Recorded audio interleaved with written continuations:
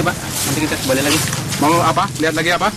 Udah kan? Udah kan? It's a good day for the Indonesian army. These soldiers have killed 10 rebels from the Acehnese separatist group GAM in an ambush. As the press arrive, the battle scene is still fresh.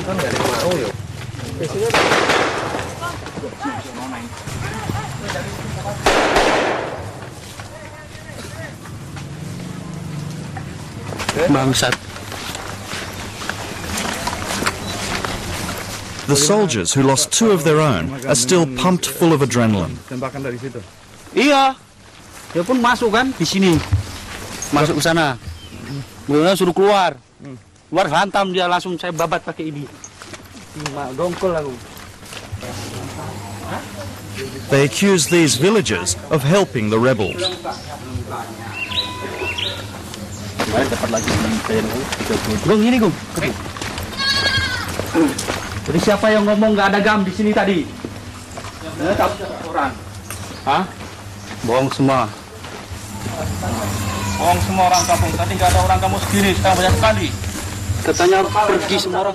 Even before I get to where the 10 bodies lie in state, the first warning is given. Ah, nang, kembali lagi.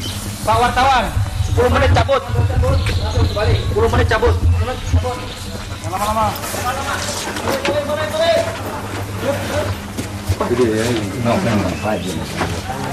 Jadi orang gam orang gam semua ya. Bukan orang tahu Pak, bukan orang sini. Bukan orang sini. Bukan. Lewat saja di sini. Iya. Entah.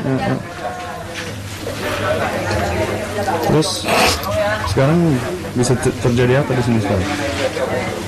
Benci. Tembak menembak tadi. Tembak menembak. Ada ada. Sama siapa?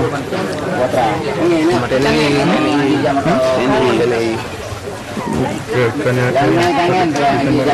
tadi pagi. maksudnya kejadian sekarang? Takut. Lokasi kontak tadi. Lokasi kontak. All the other reporters have left, and I quickly understand why.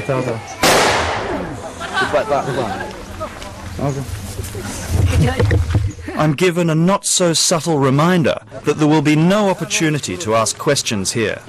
The soldiers want to get on with their interrogation.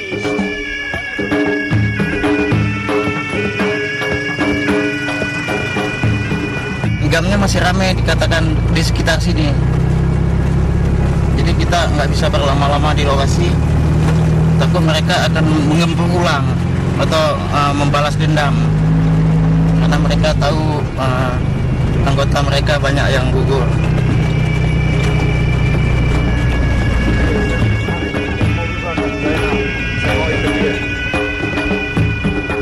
After a few years of press freedom following the fall of Suharto, the Indonesian army's offensive in Aceh marks the beginning of a new relationship between military and media.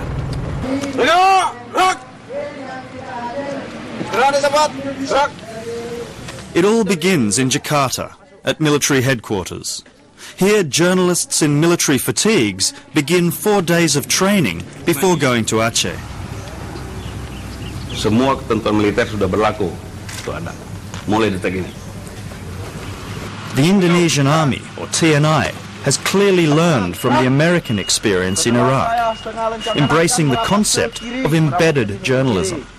Ah, Terkesan otoriter memang. Memang otoriter. Karena memang saatnya harus otoriter. Saat kita mau demokrasi ada juga saatnya. Tapi dalam hal ini terkesan otoriter benar.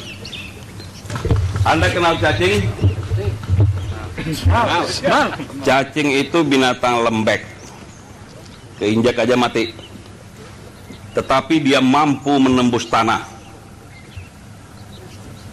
Nah kalau Anda latihan 4 hari ini aja nggak tembus, itu lebih parah dari cacing. Nah nanti saya akan, eh, akan lihat di lapangan, Apa Anda turunan-turunan cacing apa manusia?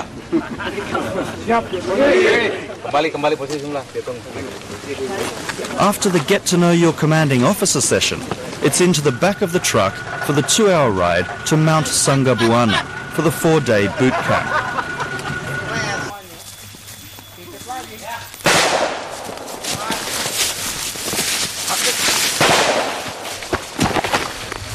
Here they learn what the TNI believe to be the essentials of war reporting. Lesson number one ambush practice. Kira-kira betul apa salah? Salah. Betul apa salah? Yang depan betul, betul. Nah, ini akan mati kalau belum begini nih. Untuk itu, supaya membiasakan kita mencari perlindungan yang benar, maka kita u Ulangi. ulangi. Ya, ulangi. Selalu seperti itu pelatih. Terlalu banyak, terlalu mau ke sini. Ada banyak orang. In Baghdad, reporters stayed at the Palestine Hotel. In Lhokseumawe, the center of the military operation in Aceh, it's the Vinavira. They're crammed in, three to a room. These reporters were in the first group to do the boot camp at Sanggabuana, where they were told they must produce patriotic journalism.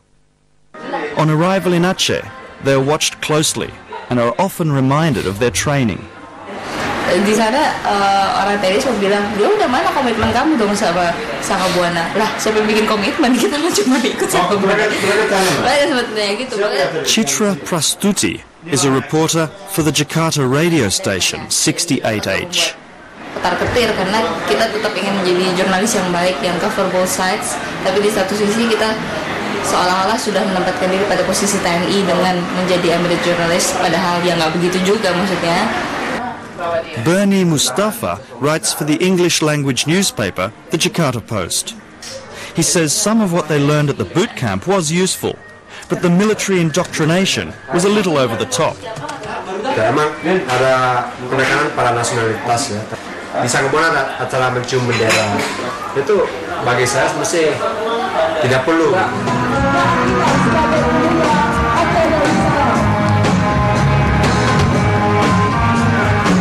This is the kind of manufactured event the military want on the nightly news.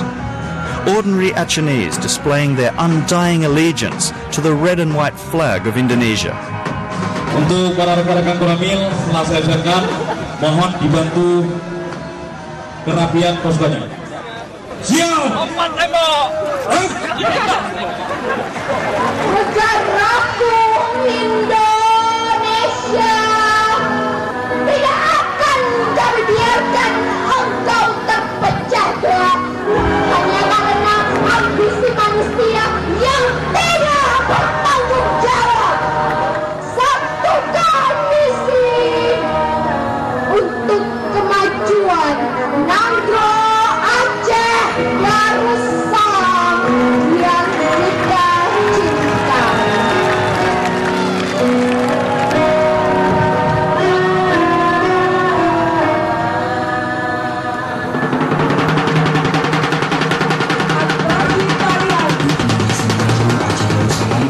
Locals consuming the nightly news are fed a barrage of military propaganda.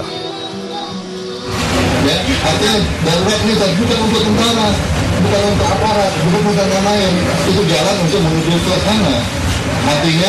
militer untuk ya, kesejahteraan, untuk keamanan rakyat Aceh.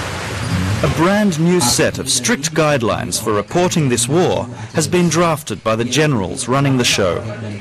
It's now illegal to quote the separatist movement GAM, and no journalist is allowed to report anything which may give a negative impression of the war or a positive impression of the enemy, GAM.